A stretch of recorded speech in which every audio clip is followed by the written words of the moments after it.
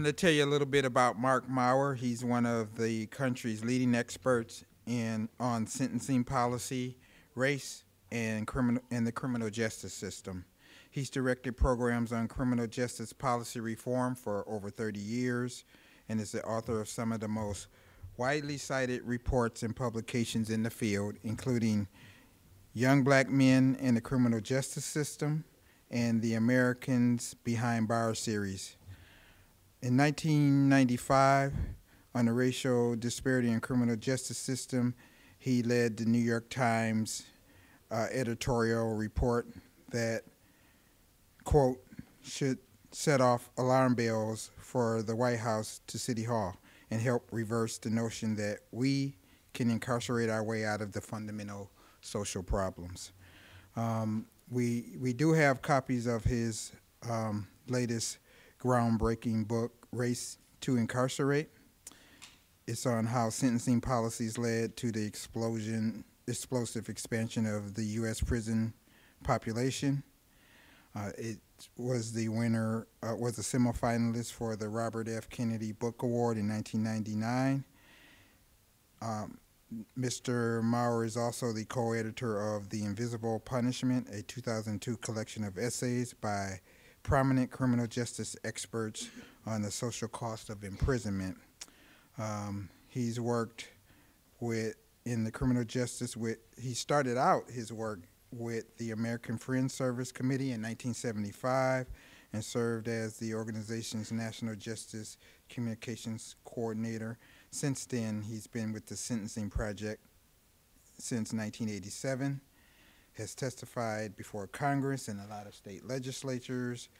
Um, in addition to that, uh, Mr. Mauer has received numerous awards. Uh, he's a graduate of Stony Brook University, where he received his bachelor's degree Mauer earned his Master's of Social Work from the University of Michigan. We won't hold that against him, though. so, without, without further ado, I'll just introduce Marc Mauer. Thanks.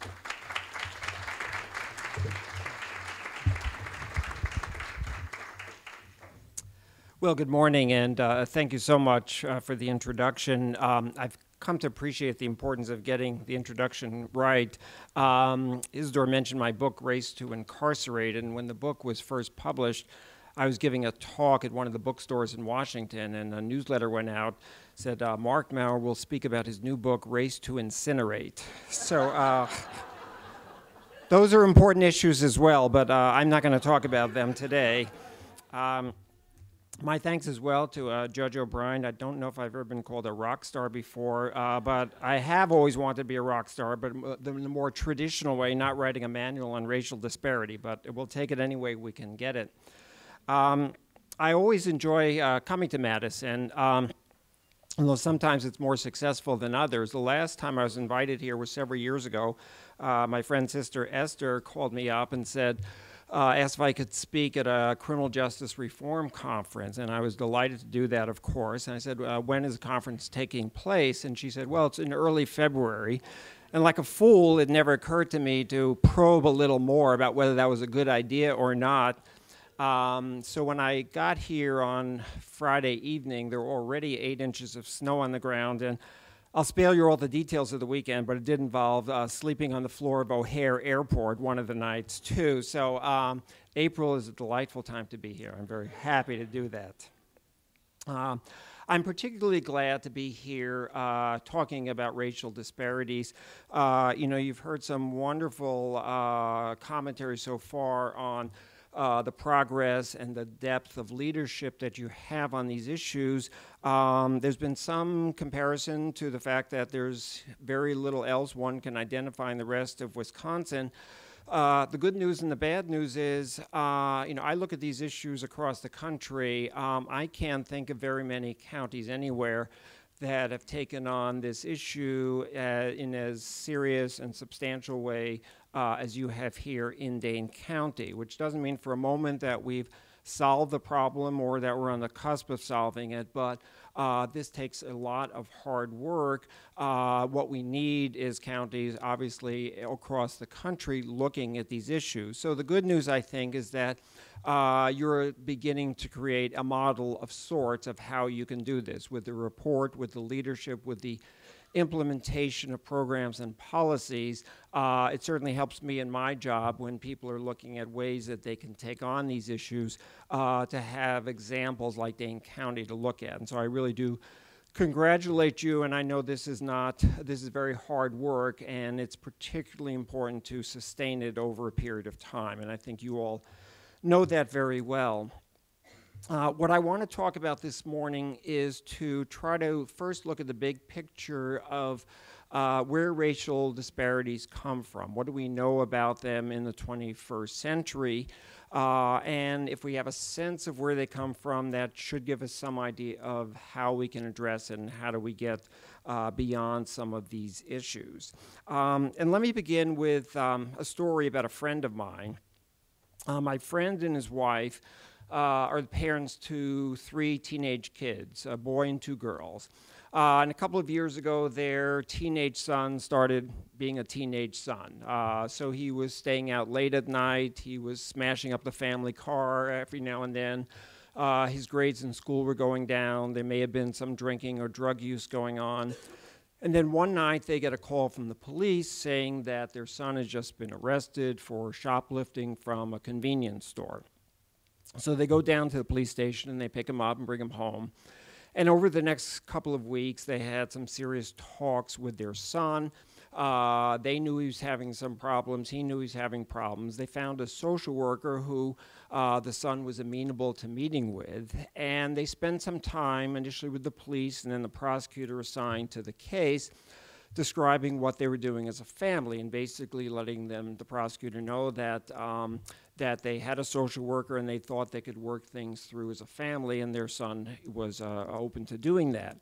And the prosecutor basically said, you know, that sounds like a reasonable thing to do. Why don't you go ahead and do that? It's only a first time shoplifting charge. So, you know, I will, I'll drop the charges and, and we'll take care of that. Well, the son goes on, spends time with the social worker, and lo and behold, things start to improve. His grades are going up, and he's getting along better with his family. And eventually, uh, he goes off to a good college and is seemingly on his way to a good middle class lifestyle and whatever he chooses to do. Well, on the same night that my friend's son was arrested, I would imagine not very far away, there was another teenage boy arrested also, only this boy his parents may not have had either the resources or the negotiating skills to work with the system to come up with another plan and bring a private social worker into the process. Now, you're not going to get heavy prison time in your first time shoplifting charge, but uh, he's going to be, he may have to end up paying a fine and doing some community service work or something like that. Uh, but six months later, he gets picked up for breaking into a car or a larceny or something like that. And all of a sudden he starts to look like one of these habitual offenders that we hear about, and he starts to go down a very different path than my friend's son is going down. So we have two teenage boys, similar behaviors, and yet when we talk about issues of race and justice, we're also talking about race and social class, and we're talking about the resources that go into problem solving. Some of this is a criminal justice issue, some of this is a broader community issue and how we address these issues, uh, I think we have to look more broadly at what are the ways we can go about solving some of these problems. So, if we want to look at the big picture, uh, just to refresh our minds, um, here's the, the story of incarceration in the United States. We start in 1925, and for a period of almost 50 years, the number of people in prison is relatively steady. It goes up somewhat during the Depression years, down a little bit during World War II. Uh, and beginning in 1972, here's what happens then.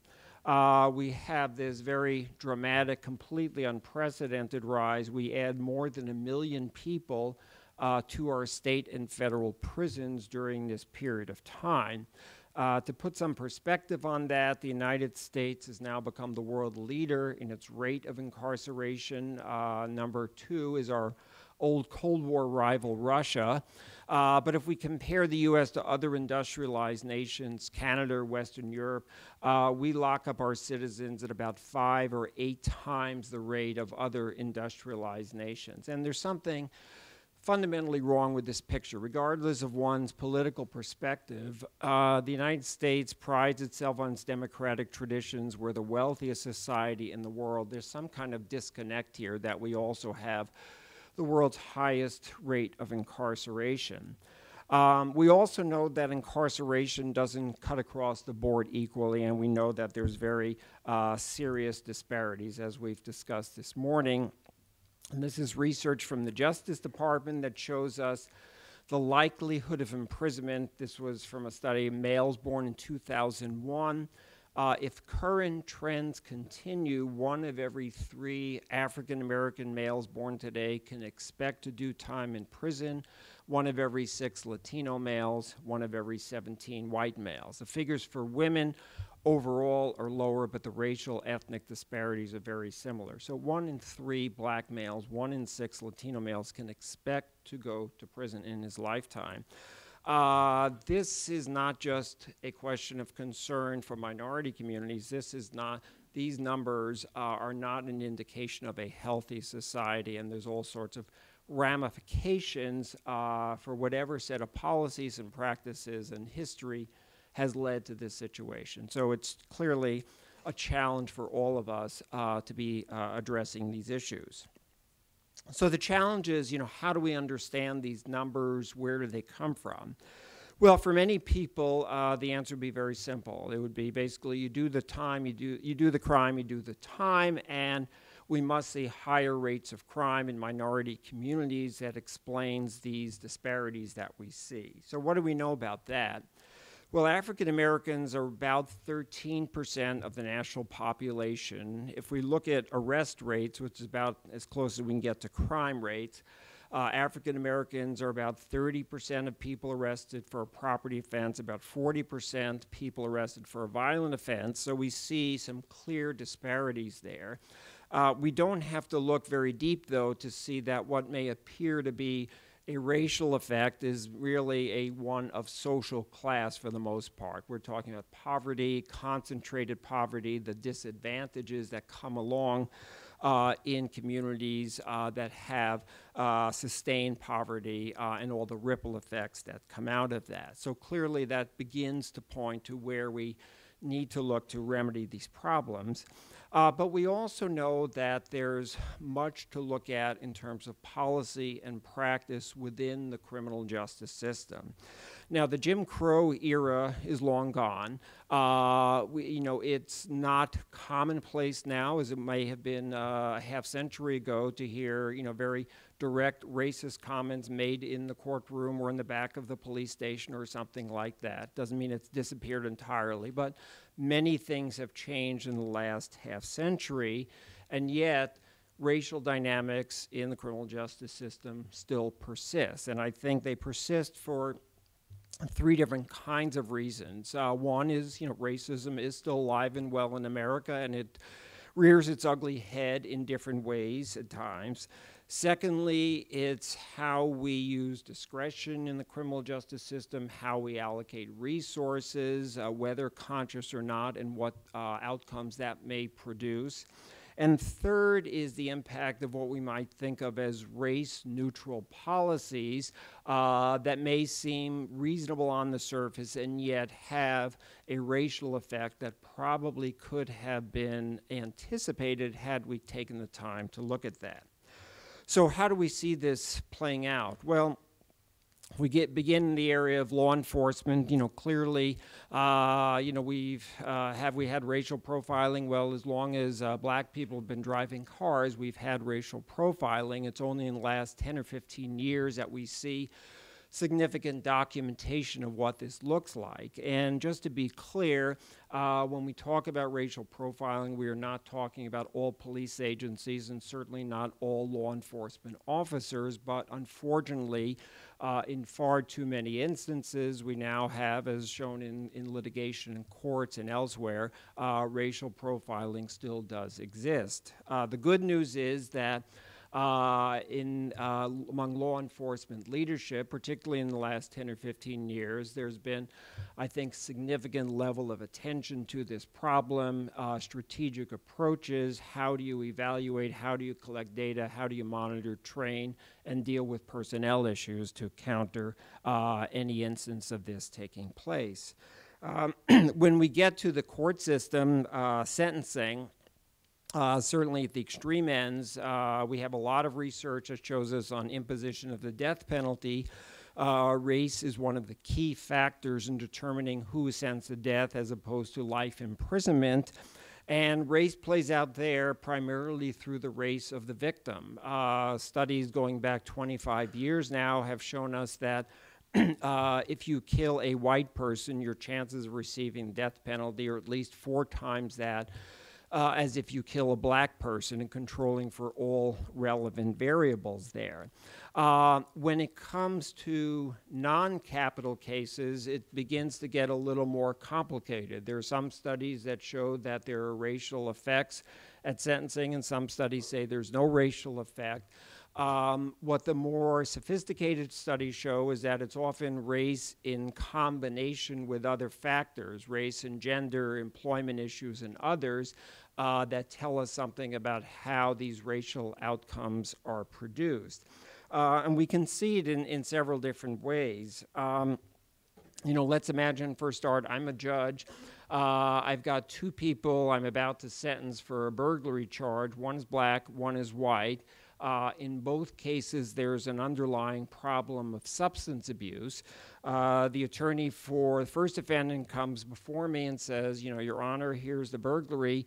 Uh, it's related to the substance abuse problem. That my client's family can get him into a treatment program. We think we can deal with this. And the judge uh, may be very receptive to doing that in terms of getting at the underlying problem.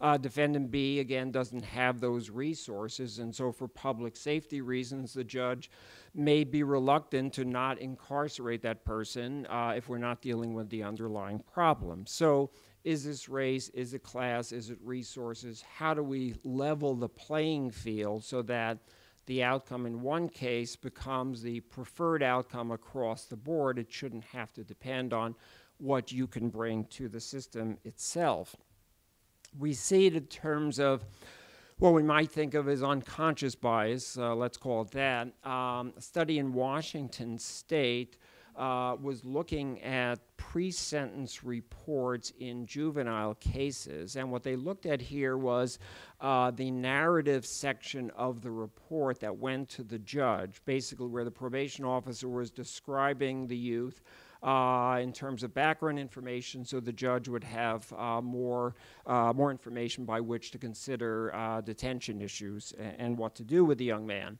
Uh, and what they found was that the white youth tended to be described as having environmental problems. In other words, they weren't getting along with their family, they were acting up in school, various kinds of things, problems in their day to day settings and all that the black youth were much more likely to be described as having antisocial personalities. Now, what's the effect of this distinction? Well, if you're having environmental problems, there's something that we can try to do about that. You know, we can bring in family counselors, we can get you tutors to help you get through school, we can have dispute resolution programs in the community or so. We can try to address your behavioral issues through interventions that we have available to us.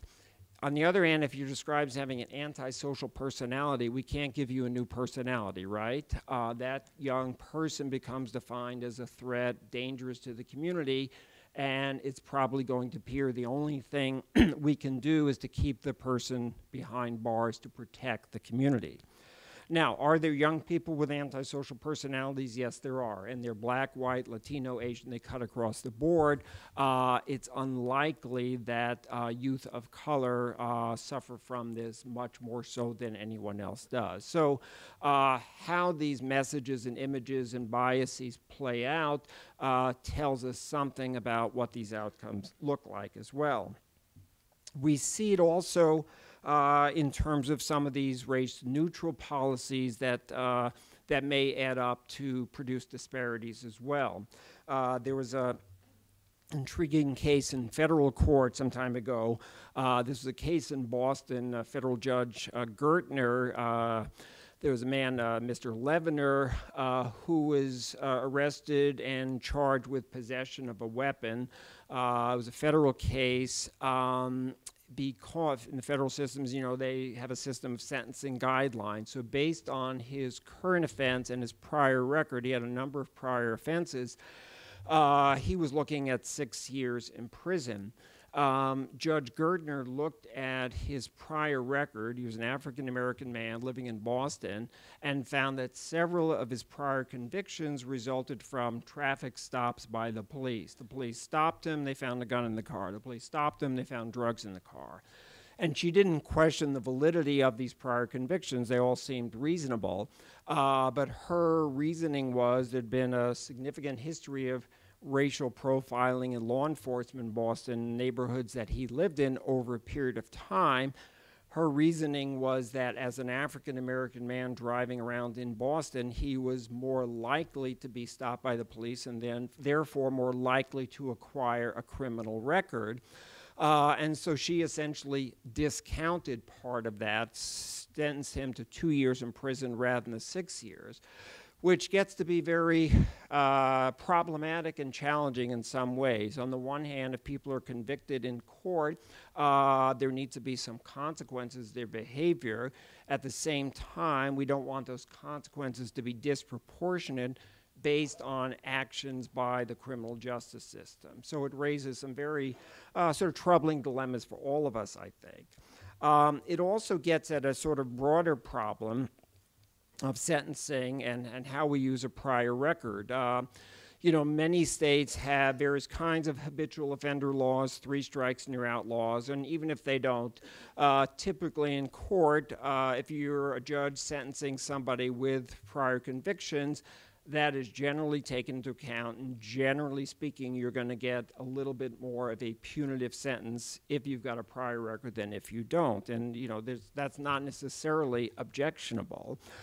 But if we have a situation where people of color are more likely to have a prior record, whether it's because of poverty, racism, racial profiling, whatever combination of circumstances, are we inadvertently resulting having a result where we have harsher sentences in minority communities based on other kinds of factors that may or may not reflect just individual involvement in crime or choices, things like that. Again, a challenging issue to take on uh, for all of us. Um, what we've seen over um, the last quarter century or so now of course, the most significant uh, change in the justice system, most significant impact on racial disparities has been the whole uh, war on drugs beginning around the mid 1980s or so. Uh, so it's been the most significant for two reasons. One, it's been the biggest contributor to our incarcerated population. And secondly, uh, it's had the most significant impact on communities of color. Now, the big picture here uh, back in 1980, there were about 40,000 people in prison or jail for a drug offense. 40,000. Today, that figure is 500,000 people behind bars for a drug offense. Uh, to put some perspective on that, there are more people locked up for a drug offense today than the entire prison and jail population back in 1980. Um, now, why? Um, let me just say, of those people behind bars for a drug offense, about two thirds are black or Hispanic. Two thirds.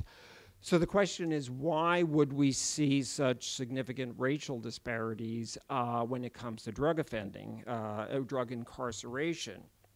Well, several reasons. One, uh, when we look at drug offenses, uh, unlike offenses like murder, rape, robbery, where there's no question uh, when those crimes are reported, there will be a police response and a significant police response in any community in the country.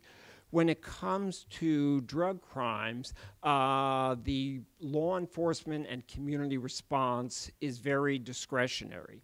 Uh, so you could have uh, City A and the police chief and the mayor there say, we are going to go after drug issues by trying to get the kingpins who are bringing drugs into this community. And if we can do that successfully, we think we can slow uh, the rate of drugs coming in and substance abuse. Uh, City B, the mayor and the police chief say, uh, zero tolerance is our strategy.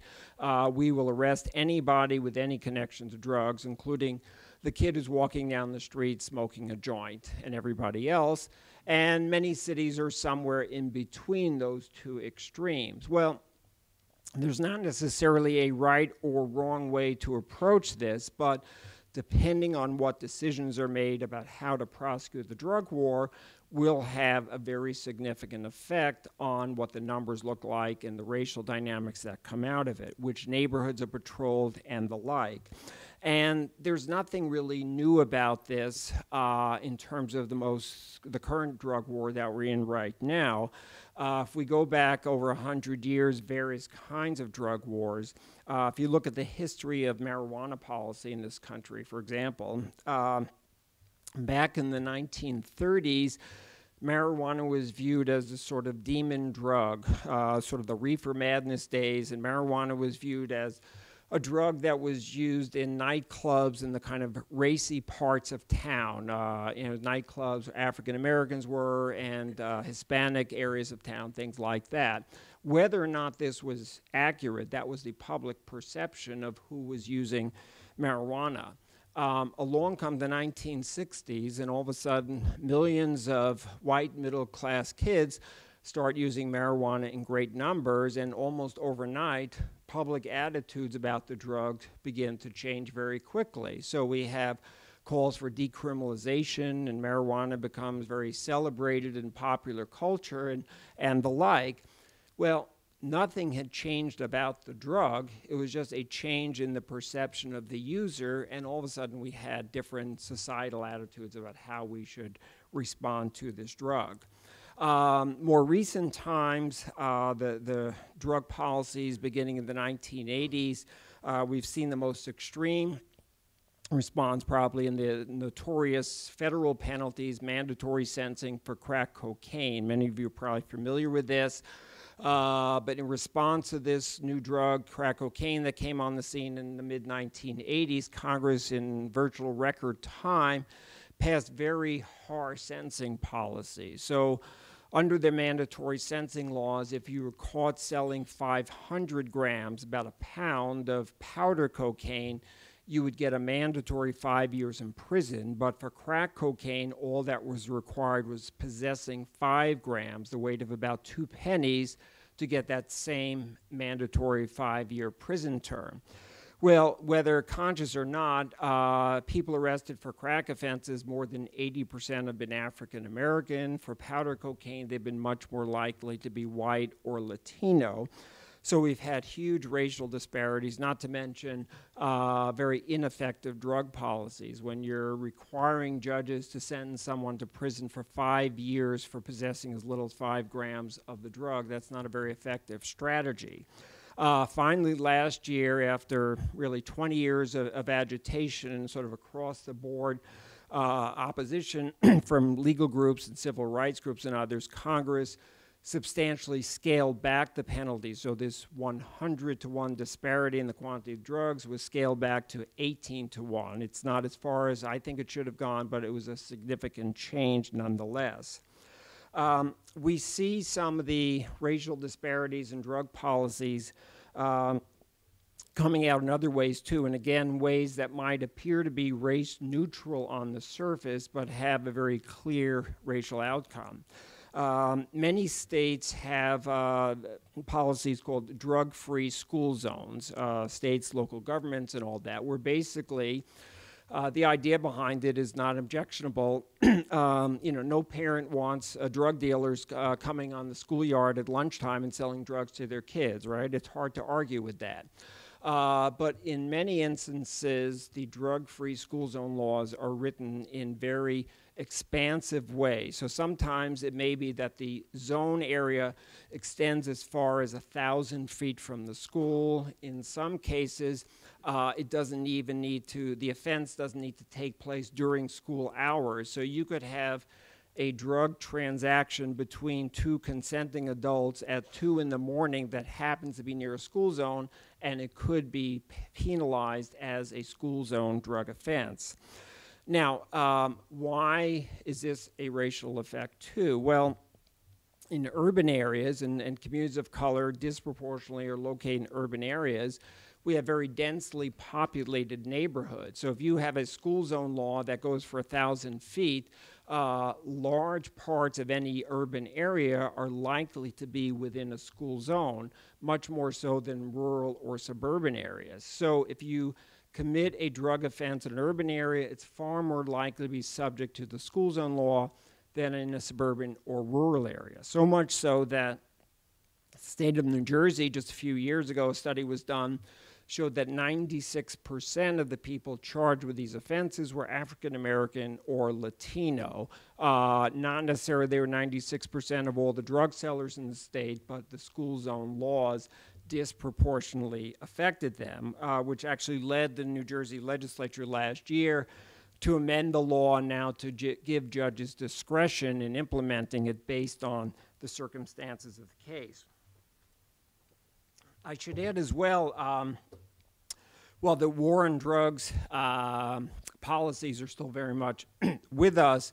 Um, we have seen, I think, some significant changes in recent years. In part, I think there's a growing recognition that we can't fight the problem of drug abuse merely by incarcerating hundreds of thousands of people and the support for drug courts and various kinds of treatment approaches is really widespread around the country now. Uh, we're still not seeing the diversionary potential I think we should see from that in terms of removing people from prison in significant numbers, but nonetheless, I think the public, public attitudes have changed on this as well. Uh, we see it coming from the top also. Um, our current drug czar in the Obama administration, Gil Kerlikowske, a lifelong law enforcement leader, uh, shortly after coming to office, basically said, uh, We are not going to call this a war on drugs anymore. You don't declare war on your own population. We have a problem of substance abuse, and that's the problem that we're going to address. So, um, you know, we need to think about how we frame the problem, and by doing that, how we frame the kinds of solutions that we want to try to come up with as well.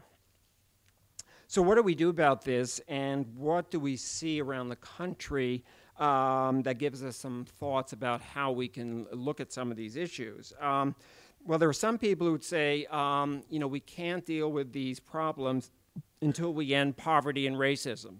I'm fully in agreement with that. That's clearly what's driving many of the numbers we see. At the same time, that doesn't get us very far. You know, yes, we all need to be working on poverty and racism, but uh, it doesn't mean that there are not things we could do each and every day at various points within the justice system and outside to make at least incremental change. And if we can make incremental change, that's, that's a direction we need to start, even as we look at the big picture. So where do we, how do we look at that in, in the justice system? Well, uh, I'll, I'll, tell you one story. Um, I had a call some time ago from a prison warden in a Midwest state um, he was a warden in a minimum security prison. This was a prison uh, where people, prisoners who were on their way home, they'd been in higher level, higher security prisons up until then, now came into this prison because they were within 12 months of going home, their exit date.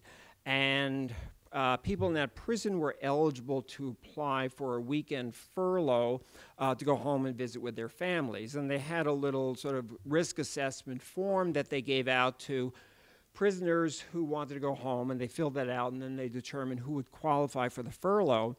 And the warden was uh, was kind of upset, and is why he called me. And he said, "There's something going on here because basically." the white prisoners are qualifying for the furlough and the black prisoners are not qualifying for it. And he said, you know, on the surface, uh, there shouldn't be any difference. We've already made a decision that all of these people are within 12 months of going home. They're all in a minimum security prison. They should be at a relatively similar risk level. Uh, he said there must be something going on in the risk assessment instrument we're using that somehow consciously or not, is screening some people in and some people out of this whole process. Um, so we don't know what that was in that case. We do know another case, uh, this is in, at the pretrial level, uh, how risk assessment instruments uh, can influence some of these outcomes too. You know, risk assessment has become uh, very popular, very standard thing to do in various aspects of criminal justice uh, as a way to make better decisions. And often it's been a good tool for doing that, but um, just saying we're doing risk assessment doesn't mean that it's always the right instrument or the right way to proceed. So in Minnesota, Hennepin County, basically uh, Minneapolis area, the pretrial services program was using risk assessment uh, criteria to make a recommendation to the judge about who should be uh, considered for uh, release on recognizance after they'd been arrested. And they also were finding they had significant racial disparities that were coming out of using this instrument. And they basically were using nine, uh, risk assessment of nine factors in terms of community uh, connections, and they'd never really validated those factors. And when they went back and tested it, they found that three of the nine factors were highly correlated with race, but didn't say anything about the failure to appear rate in court. So basically, if you're judging who's going to show up in court, it didn't help you with that but it did help to screen out African American defendants. So clearly, they needed to uh, recognize that was not a useful way to go. So they can look at those kinds of things. Um, we've seen a lot of work been done in juvenile justice system. Uh, many of you are familiar with the work of the Annie Casey Foundation and its Juvenile Detention Alternatives Initiative number of jurisdictions. Um, in Oregon, Multnomah County, Portland, um, has had fairly good success in reducing the numbers of kids in detention overall and reducing number of minority kids in detention as well. Part of it there too is uh, some risk assessment changes. When they had to make decisions about detention there, some of the questions that were asked uh, inadvertently were screening out some kids from the process. So, for example, one of the uh, questions that they had a uh, document was whether uh, the youth had a quote good family structure. Well, you know, not all of us are born with a good family structure. You know, it's kind of a matter of luck what you family come into, and it was screening out too many minority kids, and so they changed that from good family structure to having a responsible adult who could oversee your behavior. A responsible adult might be a minister, a baseball coach, teacher, or somebody else. But if the idea is that we're going to have an adult uh, looking after you, uh, yes, ideally you might want it to be a mother or father, but it doesn't necessarily need to be that way. Um, they also looked at criteria whether there was gang affiliation and found that uh, in far too many instances the definition of gang affiliation was very much correlated with which neighborhood you came from rather than a very focused attempt to look at whether this young person actually was a member of the gang or not. So they wanted to look much more carefully at that. We see as well um, in recent years, there's some mention this morning that uh, much of the increase in prison admissions uh, now in the last 10 or 15 years is not so much more people being admitted to prison, but either staying longer in prison or having their parole or probation revoked, being sentenced back to prison. So, about one of every three people going to prison today is going on a violation of probation or parole. Um, some studies have shown that African Americans are more likely to be violated than whites are. Uh, and here, too, we have a situation where parole officers in many jurisdictions have an enormous amount of discretion available to them. Many of them use it responsibly, but in many cases, there's very little oversight into how they exercise that discretion may contribute to disparity. So, as a result, a number of states are now looking at how they can make better use of discretion with parole officers and how they can try to reduce the overall number of revocations to prison. Uh, Kansas is one state that's uh, taken the lead on this. Um, basically, they found it was just too easy for the parole officers sometimes just throw up their hands and just say, we're going to send the guy back to prison for the remaining two years of his sentence or so. And so they've instituted first a system of graduated sanctions, giving people, uh, parole officers, a choice between doing nothing, uh, sending them back for the full sentence, having something in between to do. There's much more oversight now. They need to get sign off by supervisors. Nothing very fancy, but it's made a very significant difference in reducing the numbers of violations. On the policy level, the statewide level, um, we've been engaged with uh, several states in recent years in developing uh, basically policies called racial impact statements to look at how we should deal with criminal justice and sentencing policies in particular. And the idea behind this is that these are very similar to fiscal impact statements or environmental impact statements, which are now very common in public policy, and basically say that you know before we implement a new policy, we should try to anticipate uh, what some of the unintended outcomes might be. And it's better to try to do this in advance rather than wait till uh, after the problem has developed. Uh, you know, the classic case in criminal justice are the crack cocaine penalties that I mentioned before. Um, Congress raced through these penalties in record time. We have 80% of the people affected African American. No discussion whatsoever about what the impact of those penalties might be, and it took 25 years to finally remedy that problem. So, racial impact statement legislation basically says if we're adopting new criminal penalties, um, let's do a legislative analysis that will project the impact on the prison population and break that down in terms of racial ethnic impact. And if you find there's a racial impact, it doesn't mean that you can't go ahead and adopt the legislation, but it hopefully will cause legislators to consider whether they can achieve their public safety goals without exacerbating the racial disparities we currently have. So in 2008, states of Iowa and Connecticut both adopted legislation to incorporate racial impact statements. Uh, in Minnesota, the Sentencing Guidelines Commission does this internally, provides the information to legislators. Um, even um, even if we don't see this happening through legislative initiative, there are other ways in which we should be looking at program criteria to try to project uh, how this may play out in, in racial terms. For example, if you have a drug court and you have to set up the eligibility criteria for participation, depending on which criteria you use, you may uh, screen out certain people or you may make it more expansive in terms of consideration. But you want to ask these questions up front rather than uh, 10 years down the road or so.